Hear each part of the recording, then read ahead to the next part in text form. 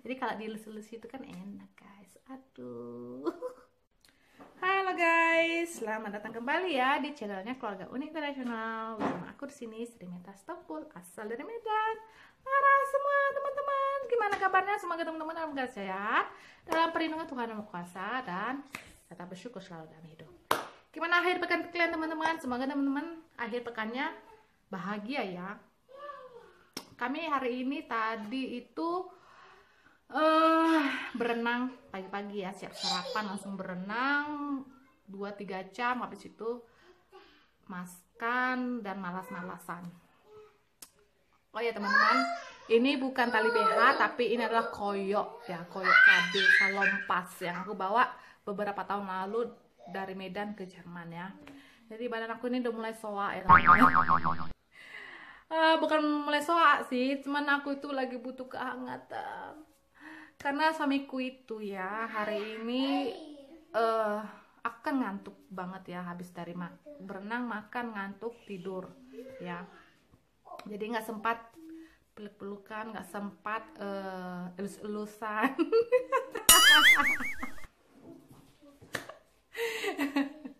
jadi karena nggak karena aku itu tertidur ya waktu nonton tadi jadi nggak sempat elus-elusan dari suamiku itu dari tadi jagain anak doang gitu loh.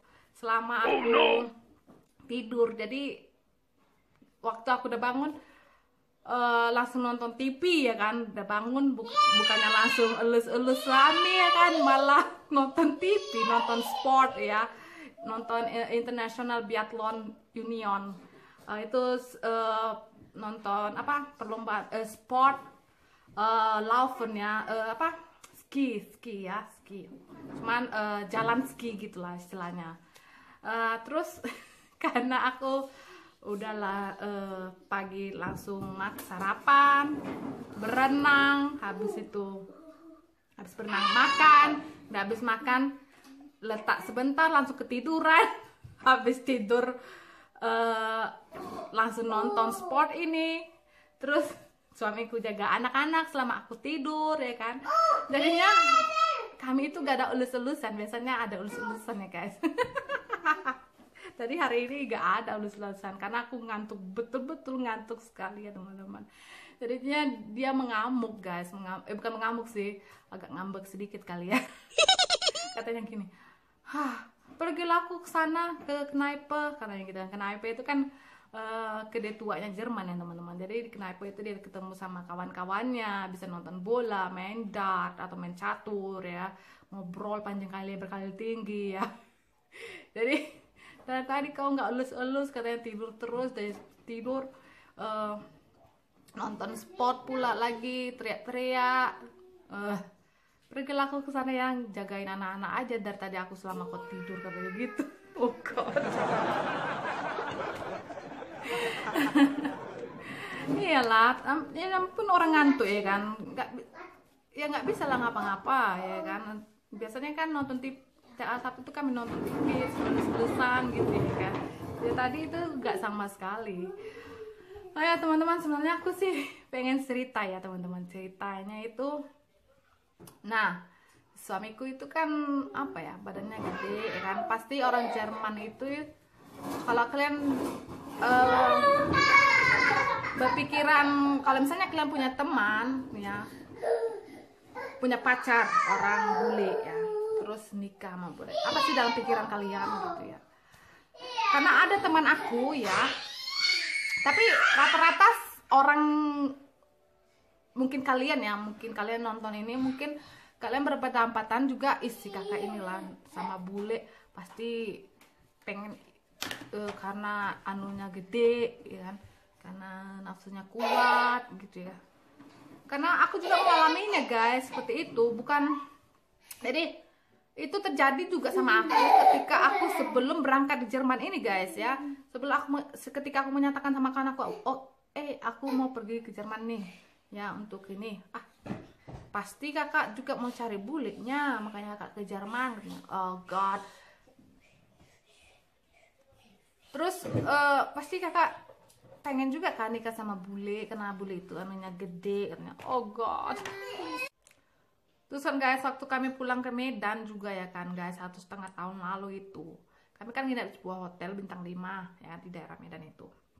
Jadi di samping hotel itu ada jalan raya dan lagi bangun gapura ya gapura. Jadi tukang-tukang di Indonesia biasalah kalau misalnya cewek lewat piu piu gitu ya kan nah aku itu kan lewat sama suamiku gitu ya kan berbarengan gitu. Jadi uh, suamiku kan orangnya akrab banget ya suka kali ngobrol sama orang sama siapa aja. Makanya waktu di uh, Medan itu ya aku takut sekali kalau misalnya suamiku dia apa-apain sama orang gitu ya atau di bom gitu ya. Karena aku takut ya karena suamiku itu orangnya uh, suka suka nyari teman suka ngomong gitu sama siapa aja walaupun dia kenal atau enggak dia suka sekali. Di Jerman pun kayak gitu ya kan. Makanya itu jadi sewaktu uh, suami kita lewat dari tukang itu ya dari para tukang itu ya kan. Jadi suamiku ngobrol lah sama para tukang itu karena satu satu apa satu pekerjaan gitu pikirnya ya kan. Jadi ngobrol kayak mana kalian bangun ini? Terus ada seseorang ya kan e, ngobrol sama aku kak kakak kenapa nikah sama abang ini? Katanya gitu kan abang ini gede banget katanya kan. Gila katanya gitu. Kakak kuat banget kak. Apalagi pasti ini kuat kali nafsunya kak. Gede juga pasti barangnya nih kak. Tuhan Yesus pikirku ya ini orang pantaslah kau tukang bangunan. Terus pikirku gitu kan ngomong tanya kayak gitu pikirku gitu ya kan pengen pengen sebenarnya sih aku pengen bilang uh, ke abang itu bang cucilah dulu kepala otak kau gitu kan. Tapi nggak mungkin kan aku bilang kayak gitu ya kan guys. Nanti kiranya pula awak ya kayak mana sombong atau kayak mana ya kan karena nikah sama bule ya kan? Jadi uh, selama yang lainnya itu yang lainnya para tukang lainnya itu ngobrol sama suamiku ya mengenai kerjaan mereka jadi satu orang itu satu petugas itu mengatakan itu sama aku guys oh God, aku nggak tahu guys aku uh, serasa ditampar ya di depan umumnya walaupun si abang yang ngobrol sama aku itu bisik-bisik ya kan. Tapi itu peras aku rasanya dipermalukan seperti itu. Terus ada lagi ya sebelum uh, sebelum aku masa pacaran sama suamiku ya sebelum masa pacaran masukku sebelum aku nikah sama suamiku aku ada ngupload foto di Instagram aku ya teman-teman atau di Facebook aku ya. Nah ada seseorang teman yang uh, eh, DM aku langsung ya katanya gini kak ini kak abang itu kak. Calon abang itu kak katanya gitu ya kan teman-teman. Aduh kak. Kakak nanti kalau malam pertama tim ditimpa lah kakak nanti penyek kakak nanti jadinya katanya gitu sama aku guys. Oh god pikirku. Nasib ulus-ulus dada aja guys ya.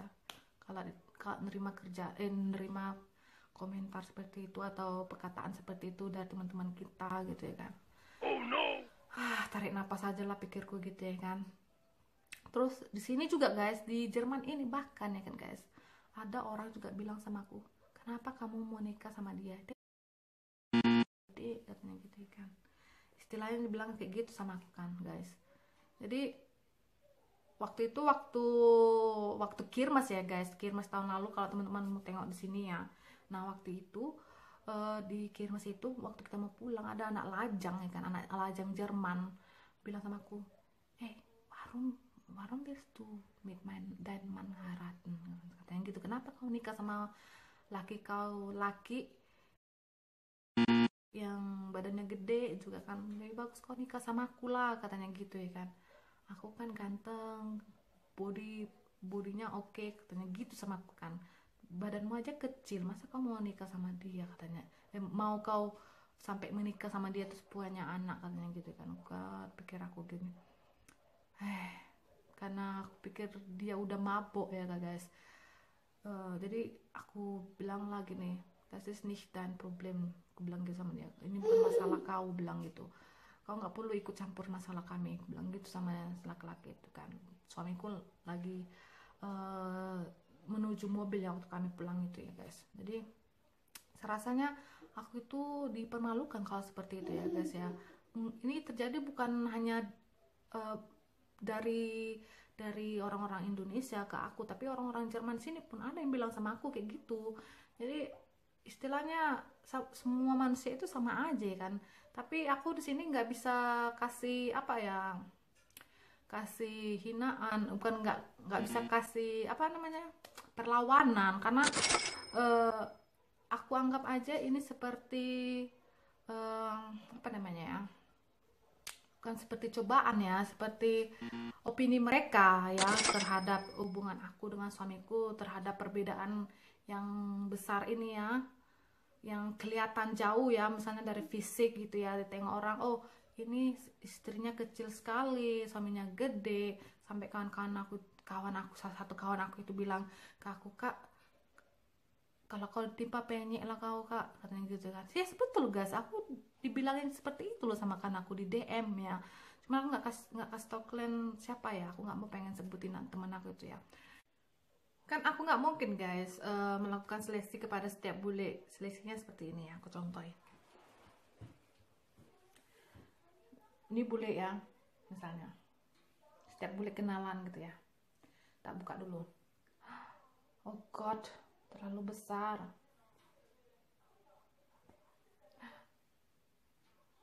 Terlalu kecil. Letoy hmm. terlalu bertenaga. Takut saya nggak bisa nandingin. Pergi-pergi. Buka lagi. Oh god ratanya. Pergi-pergi. Buka lagi. Apa ini? Terlalu kecil. Pergi-pergi. Buka lagi. Ini baru pas. View view langsung. Langsung taruh gini. Gak mungkin kan guys aku melakukan seperti itu. Cok dulu kalian uh, tulis komentar di kolom komentar ini ya. Kenapa sih mereka uh, membuat mereka itu berkomentar seperti itu atau mengatakan hal seperti itu ya teman-teman. Karena bule ini kan juga manusia aku juga manusia. Aku ya nggak bisa apa-apa kalau misalnya uh, suami bernafsu kuat ataupun anunya gede ya kan? Aku nggak bisa apa-apa. Itulah anugerah dari Tuhan ya kan? Seperti itu misalnya. Aneh orang tapi nyata. Kalau menurutku itu mereka itu aneh tapi nyata. Kalau menurut kalian apa? Cok lu tulis ya dalam komentar itu ya guys jadi kan teman-teman emang betul sih. Kalau menurut aku sih emang betul kalau misalnya bule itu nafsunya kuat ya teman-teman. Karena aku merasainnya sendiri.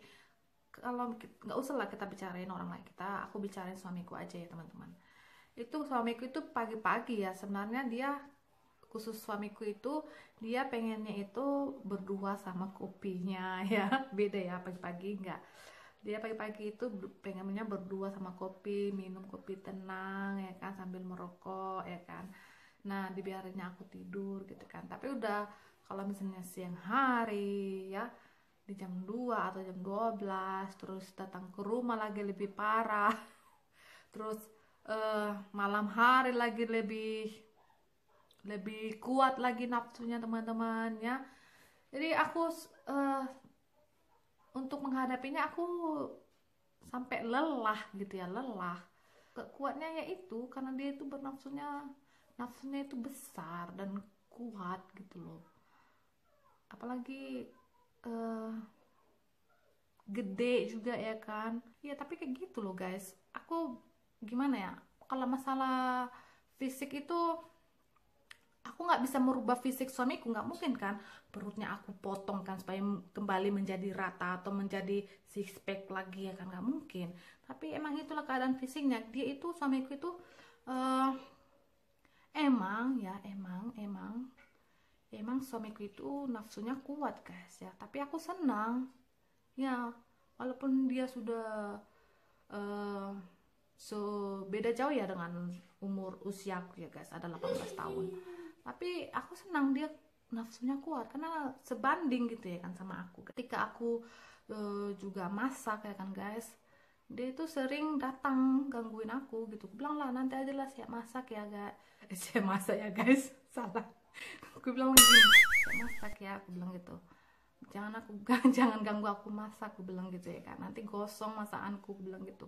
Atau nanti habis makanan aku kau ambil karena kau sudah ambil makanan makanan kita duluan ketika aku lagi masak. Hmm. terus apalagi kalau masak tempe gas aduh nafsunya gas gak bisa aku tahan ya guys. Langsung dicomot itu tempe dimakan comot dimakan uh, dicomot dimakan. Kayak gitu gitu aja guys. Terus jam 4 makan ya kan. Habis itu nanti jam 7 lagi makan malam ya kan. Dipotong roti pakai mesin. Per adalah apanya itu jat, uh, tepung-tepungnya jatuh ya kan? Terus habis habis makan roti makan lagi yogurt dessert ya kan? Ah yogurtnya tumpah lagi. Kan aku harus cap harus lap-lap itu meja terus harus uh, apa namanya bersihin lantai sapu-sapu lantai. Kan aku jadinya lelah gitu ya teman-teman. Tetap walaupun nafsunya nafsunya gede ya maksudku nafsu makannya gede ya kan teman-teman tapi uh, aku bilang sama suamiku ayo kita berenang ayo kita olahraga ayo uh, kita sedikit jogging gitu ya. Aku bilang aku masih melakukan itu ke, ke suamiku supaya walaupun dia badannya gede perutnya gede atau uh, kekar gitu ya istilahnya berisi gitu ya biar walaupun badannya seperti itu aku harus ngajak dia tetap olahraga biar dia itu tetap uh, walaupun digendut tapi sehat gitu ya. Aku juga harus pandai-pandai belanja ya harus banyakin sayuran terus buntutin dia juga sayur-sayuran nggak cuman roti dengan atau nggak cuman hanya daging gitu ya teman-teman. Tapi aku harus juga pandai-pandai belanja dan pandai-pandai harus menyiapin buntutnya seperti itu ya guys. Aku nggak tahu kenapa orang bilang gitu. Gede kayak doyan gede ya kayak goyang eh doyan uh, kenapa mau nikah sama orang bule? Bule kan orangnya tinggi besar. Bule kan orangnya kuat. Ya kuat nafsu. Ya suamiku memang kuat nafsu. Nafsunya nafsu makan teman-teman. Jadi uh, harap kalian jangan apa ya jangan jangan terlalu tegang sekali ya teman-teman nontonnya ini ya. Dan terlalu dan jangan menjadi ngaceng gara-gara nonton ini ya teman-teman. Tapi itulah. Uh, walaupun kayak gitu ya itu tetap suamiku walaupun badannya besar perutnya gede. Tapi kan itu menjadi penghangat guys. Penghangat ketika kami tidur. Jadi kalau dilus-lus itu kan enak guys. Aduh. Ya teman-teman sekian dulu ya guys video aku kali ini semoga yang nonton ini tidak ada yang ngaceng Oke okay guys, dan terima kasih sudah menonton video kami ini dan sampai jumpa lagi. Bye bye. I love you all. Ciao.